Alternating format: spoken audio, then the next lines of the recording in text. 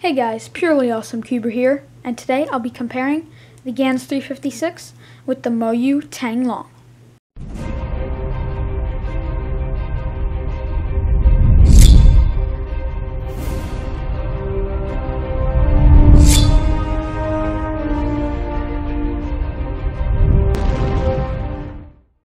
So these two cubes are um, very different in a lot of ways, but very similar too.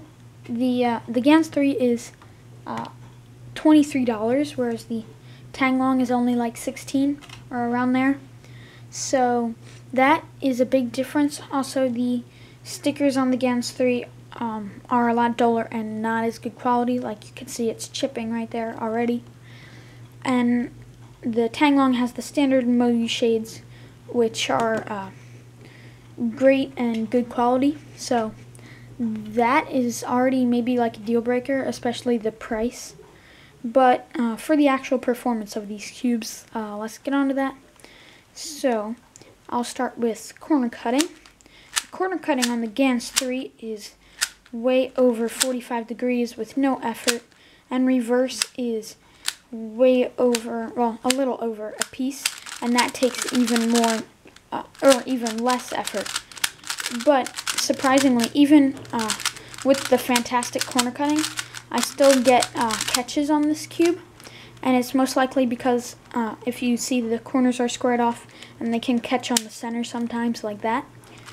Um, so this cube does catch sometimes, but um, the corner cutting in itself is fantastic. But I do still experience some catches and lockups during solves. Now for the Tang Long. Tang Long can also do 45 and a little over. And reverse is maybe a little under a piece. So that can cause lockups for me. But not they're not as bad and they can be easily fixed. Like if I try and go like that, it'll lock up a little, but it'll still cut it. Um, and they're not as bad as the ones on the GANs where sometimes it can like get all weird on you. That's because this cube is very flexible. So but yeah, anyway, this cube does have okay corner cutting. It's not the best. It's not better than the Gans, but I definitely say this cube flows better than the Gans 3. So, the Gans has better outright corner cutting, but the Tanglong is overall more fluid. So now for um, any like popping or any issues like that. Neither one of these cubes pops at all, so there's nothing really to go over much there. Uh, they never pop, and they both have the new squared off corner design. So corner twists are uh, very rare if they happen at all, which I don't really think they do. So neither one of these cubes really pops or corner twists. And now finally for the turning. Um, both of these cubes I'd say are a little slower than your average cube nowadays, but the GANS is definitely faster. And it's also very quiet compared to the Tanglong. And the Gans is also very smooth. It's almost gummy, but it's not that slow.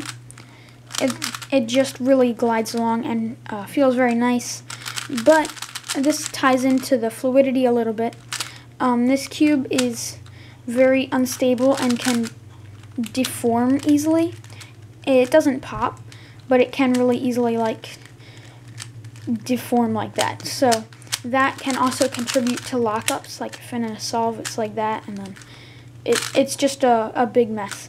So this cube doesn't feel that stable, although it won't pop. It feels kind of uh, flimsy. Now for the Tanglong, it's quite the opposite.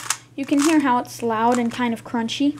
It's also uh, smooth and also a little slower, but um, it feels very stable and like it's totally never gonna pop on you, which is true. And I do uh, really enjoy the stable feeling of the Tanglong. So, yeah, these cubes have kind of opposite feels. This is more crunchy while it's still smooth and it's a little slower. Where this is still kind of slow, but it's more gummy and smooth. And then it's kind of flimsy. So, Overall, my personal preference would be the Tanglong, and I'd recommend the Tanglong, especially because it's a lot cheaper. but uh, you can go ahead and make your own decision. The Gans is a lot smoother, but a little more flexible, and the Tanglong is a little more crunchy, but uh, feels more stable. So that's this week's Clash of the Cubes.